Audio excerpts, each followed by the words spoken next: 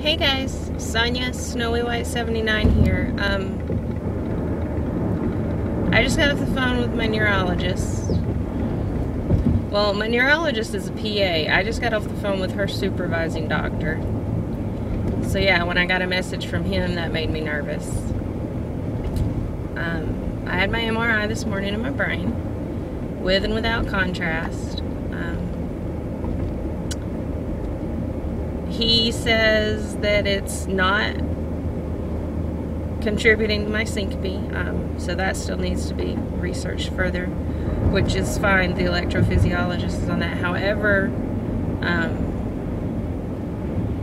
I have two lesions on my brain, one on the right and one on the left that is enhancing. Whatever that means, I guess it means it's active.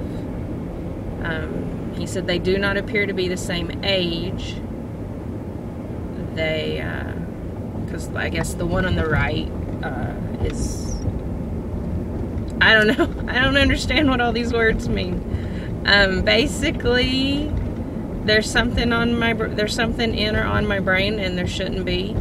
And they're gonna call me back with a bunch more appointments and tests that I have to go to. Um, I'll have to have a full body CT scan so I'm guessing they're checking for cancer, um, some blood work, and a spinal tap. And he's already went so far as to talk to a neurosurgeon, and she said that it's located in a spot that would be easy to biopsy. Um, so I don't know if that's going to be scheduled or if they're going to wait for for the test results or Crap, guys. I just want to quit passing out. Um, yeah, I'm going to go because I'm going to start crying and I can't do that because I have to go to work because I have a meeting today. Um, pray for me, please.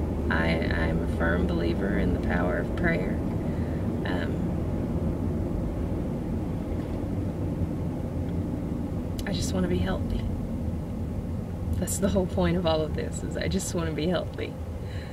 So, yeah. Um, okay. Bye.